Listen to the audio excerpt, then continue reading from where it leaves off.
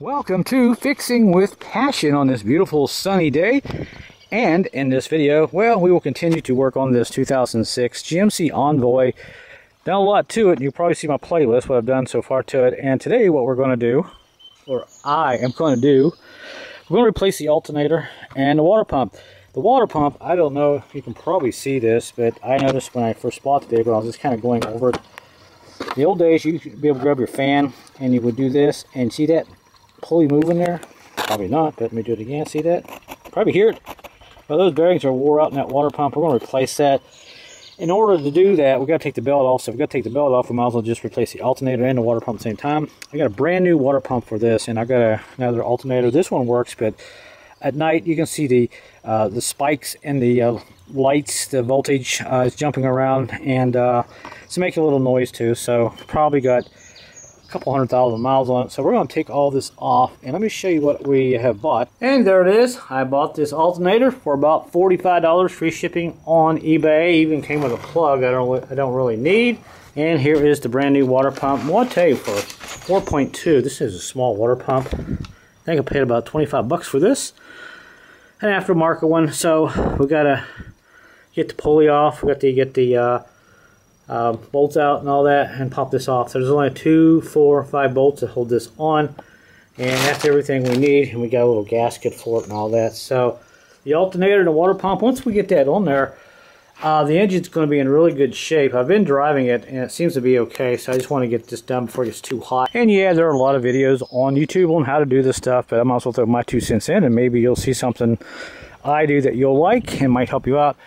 But for now, we got the antifreeze here kind of draining out. And of course on these radiators, there's no uh, petcock or anything. So what I typically do, I get the camera kind of set up, but I'll just unloosen the hose clamp, slowly pull it apart and let the water, the antifreeze or whatever, kind of drip into the pail. That's really all you can do there for that. And once that's done, you know, draining or whatever, you can start working up here. So the first thing I've got to do is go ahead and these here you gotta have a special tool but what I typically use I use a big old thumb wrench and I'll take my propane torch and I'll heat this up a couple of times let it cool down heat it up a little bit but you to get it too hot because you got your viscous fan there clutch fan and that will typically break this loose a little bit so let me show you uh, what I've got to do that with. And here are the basic tools I'm going to use to try to get this clutch fan off. So I'm uh, out in the woods, far from a parts store and uh, being cheap tools that you can get. We've got a thumb wrench here. This is a pretty big one. Actually, if you notice, it's kind of bent a little bit. I bent it on a couple projects to kind of get that in there. Got the hammer, got a little pry bar, and of course got the MAPP gas here because propane's annoying. If you don't have one of these triggers, you can just click this and light it and hold it down there. So I want to heat this up right here on this and see if we can break this loose. Now, if I remember, I think it's left you take it off counterclockwise and clockwise you tighten it up. But um, what I typically do, I'll heat that up, let it cool down a couple times. I'll stick my thumb wrench on her like this. Usually stays on there pretty good. Then I'll take another, you're not supposed to do this, but since the water pump's bad, who cares? I'll pry it back in here in the back, put a little pressure on the back of that pulley, I'll take my other hand, grab a hammer, and tap that, hit it until it breaks loose. And once it breaks loose, we can spin it off. Then we have to figure out if we can get the fan out over the shroud, or take the shroud and the fan up together. I'm hoping we can bring it up together, but the problem with that is, you see this here? Yeah, it's going to be in the way too of the shroud, so I'm still going to have to take this hose here off. Once we get this off, then maybe we can get this shroud out pulled up as one unit. I don't know. I've done it different ways on different vehicles. There's really no clear um, step on how to do this. You just got to play around with it and figure out what works for you. And that's what we're going to do in this video. So let's go ahead and see if we can get this off down here. That's the major first hurdle. Once you get this off and everything else, not really all that bad after this.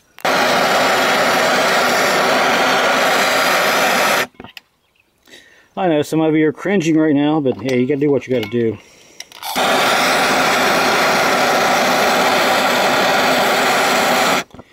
Just short little bursts, nothing crazy, and just do this for a few minutes all the way around, and we'll try to break it loose. All right, well, let's see if I am proved wrong. Um, it's pretty warm. It's cooled off a little bit. So we get this on here like this. Now I left the belt and stuff on here because that'll give us a little more leverage. It'll keep things from turning. And we'll put this back here like this. And uh, it may take several tries, I don't know. But I got a little pressure on that right there. Let's see if we can... May have to use both hands on that.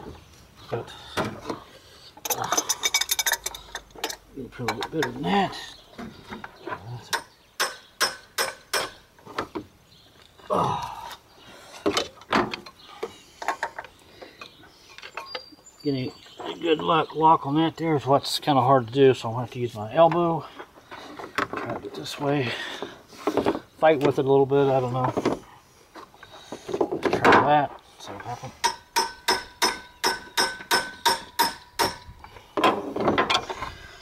Alright, no dice yet. Alright guys, after about 15 minutes, finally got it. By the way, this is an inch and I believe an eighth. That's how big that nut is, and I don't have that special tool you can buy for 100 bucks, but hey, there it is. So I took the tire iron, kind of got it in between a couple of these nuts, and let it rest, and caught it and let it rest right here on the upper uh, radiator support here, and kind of took my elbow and held that and did took my other hand and kept tapping on it and there it is. So, you don't have to do it this way, but if you want to try it. But the heat really makes a big difference. It's still hot. I can see it smoking a little bit. So, you get it so far, it'll start turning on its own. There we go. There we go. Yay!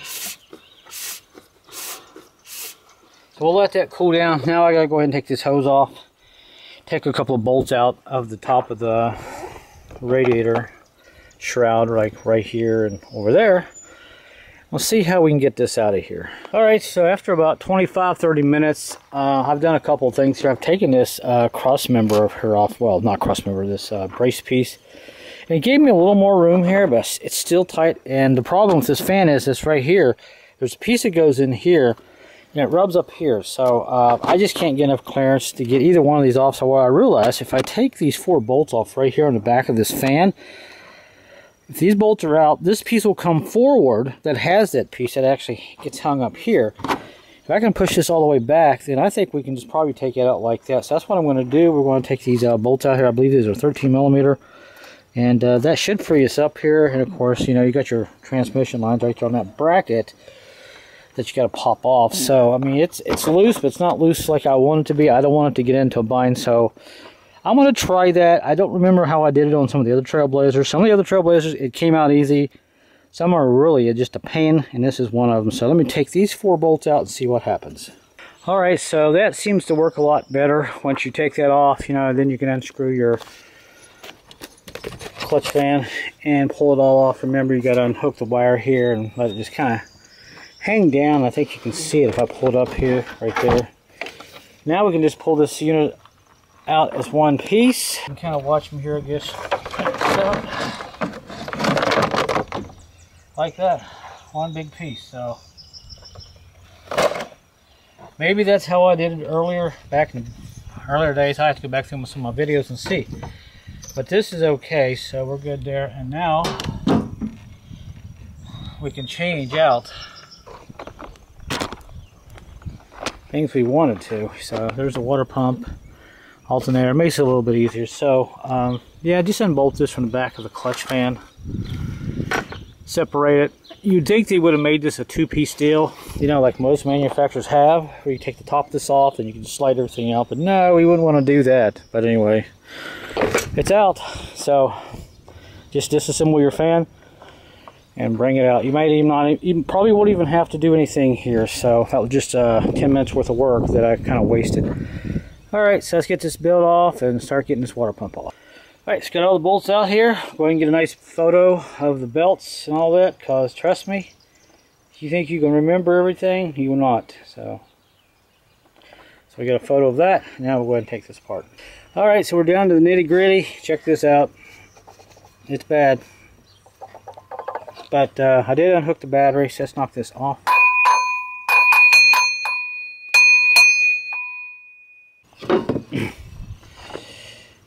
Got it after some, some persuading. Yeah, a little tire iron help there. So that was kind of hard to get off. All right, so check this out.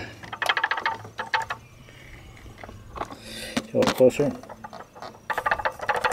Hey, supposed to be making any noise. Bad shape, so uh, did unhook the battery. I think I mentioned that earlier. So we're going to get the alternator off. A couple bolts on the bottom here are kind of pain to get to, but you can just use a ratcheting socket and get those off. Take this off, these two bolts here off on top. Pull this out a little bit and get to those wires in the back. Reassemble it, put it back in like that. So for now we're going to and take the water pump off. And boy, it's a little, it's not very big, so shouldn't be too hard to take off. Love these tools. $40. Alright, so let's go ahead and tap this off here. I need to grab my hammer real quick. Once we tap that off there, it should come right off. And you'll lose a little more antifreeze. And ta-da! And to show you how bad it is, it's it's pretty bad. So I'm glad I'm changing it out. So just for good measure. I'm supposed to make any noise. Hear that? I don't think it's supposed to do that.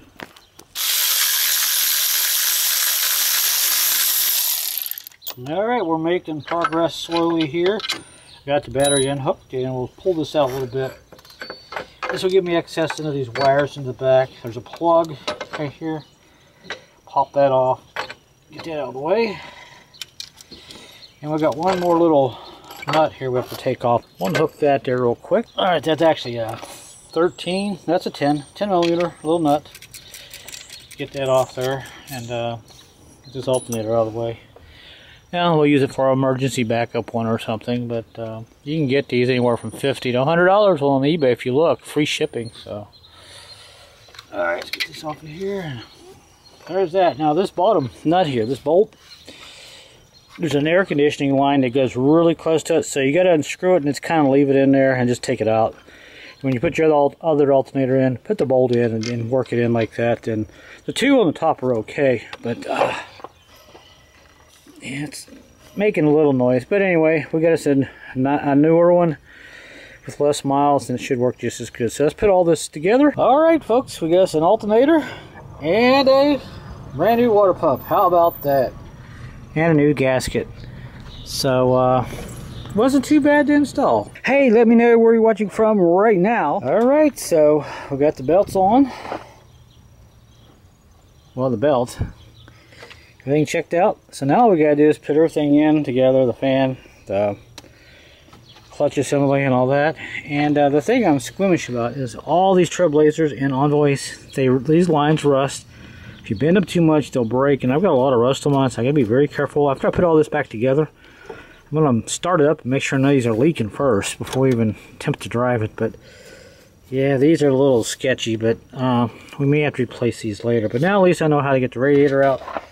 I mean, uh, not the radio, the uh, fan and stuff out a little bit easier. But anyway, we'll go ahead and finish up here, put all this in, and pretty much wrap this video up. Not a lot of content here. Might get 30 or 40 views, but hey, maybe it'll help you out a little bit and uh, give you some uh, some persuasion to get yours finished or done or whatever. All right, to give you some idea how I'm going to put this back together, it's kind of set up like that. I'll put the fan on this side with one hand and uh, kind of put this piece in the back like that so you can kind of see how it's set up like that and the fan has got to go on this side just so you know and your piece that screws onto the water pump is on the back and now we're just going to kind of drop this whole thing down in and you're going to have your transmissions lines over there they're probably going to catch you're going to probably have to wiggle it then you're going to have to fight with this hose right there it's going to hit right here on the top so you're going to have to use both hands, and that's exactly what I'm going to have to do. So let me set the camera up here and see if we can get it in there. All right, so here goes. I'll keep the uh, bad words at a minimum and to myself. So put this down in like that. And uh, I'll try to set that clutch fan on the center of the water pump. I'll turn it a little bit and screw it on there. That way it won't be rattling around too much. Alright, I think we got it already turning. Alright, there we go. I'll grab the camera here. Give you guys a look here. But can you see right there? I'm turning that fan on. And I think we're good. And just make sure you put this fan on the right way, you know, when you take it off. Now we gotta just push down on this right here, get it, get it kind of caught up here and wiggle it around a little bit. So let me go ahead and do that off camera. But that's how basically you can pull it in, put it in there, pull it out and put it three, two, one. That's basically the way you can pull it out and put it all back together as one kind of unit.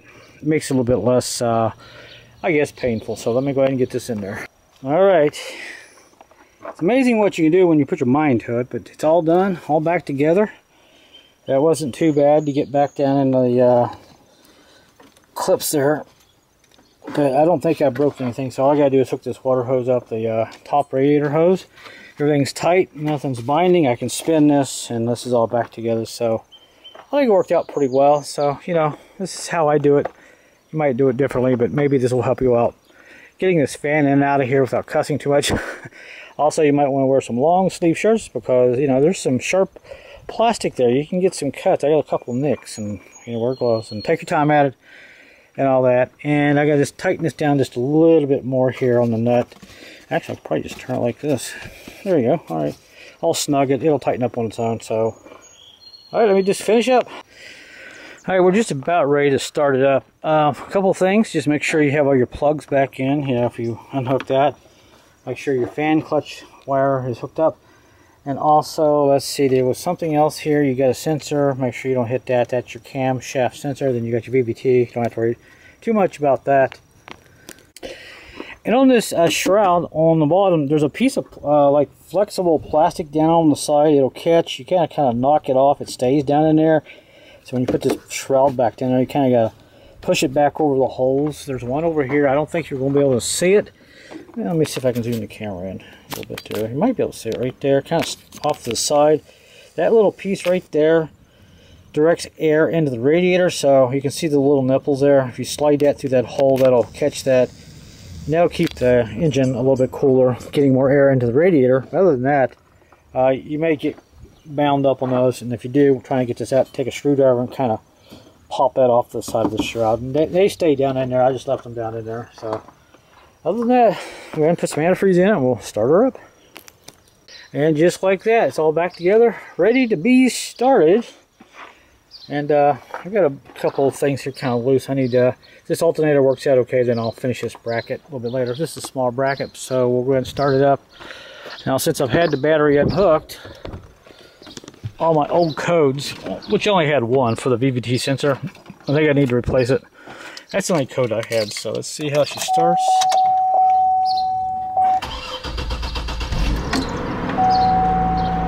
Okay, start right up. Sounds good.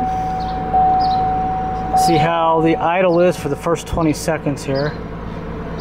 Sometimes I get a slight miss, but seems like it's okay now. Not any of the stuff I did really, really would have helped that, but no. Idles up like it should. All right. So what I'll do is drive it for a few days and I'll come back and give you guys an update on the video when I wrap this video up, but sounds good.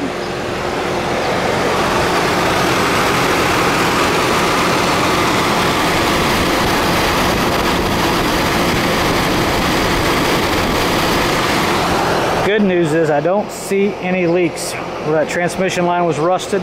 Looks okay.